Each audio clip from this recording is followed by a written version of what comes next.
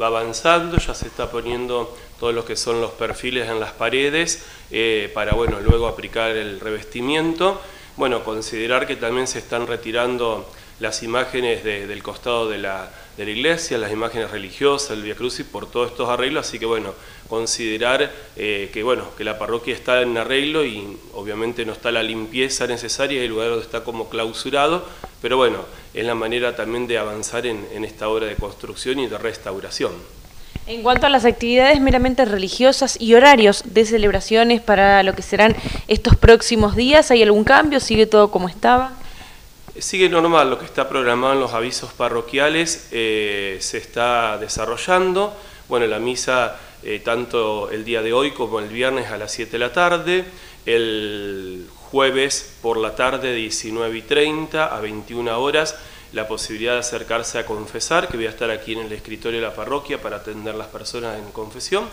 El día viernes por la mañana, también la atención sacerdotal, consultas, bendiciones, de 10 a 12 del mediodía en el Salón Grande de la Inmaculada. Y bueno, y el viernes un día importante para nuestra parroquia, eh, no solo porque se celebra la Virgen de Fátima, que es la copatrona de, de la parroquia, sino también porque ese día la, la misma parroquia cumple 160 años. Por eso en la misa de las 19 horas vamos a celebrar a la Virgen de Fátima y de una manera especial eh, realizar esta acción de gracias por, por este camino recorrido que no son pocos años.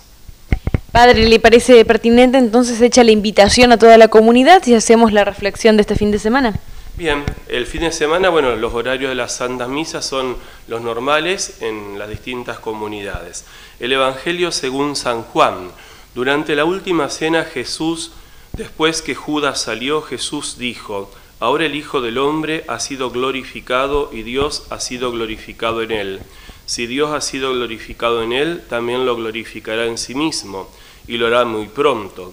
Hijos míos, ya no estaré mucho tiempo con ustedes. Les doy un mandamiento nuevo, ámense los unos a los otros, así como yo los he amado.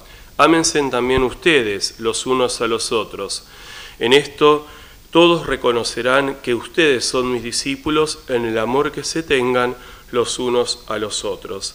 Bien, el Evangelio central es la invitación a vivir el mandamiento del amor, pero Jesús va como anticipando a sus discípulos, eh, bueno, su condición de resucitado que va a ascender a los cielos y va a prometer el Espíritu Santo.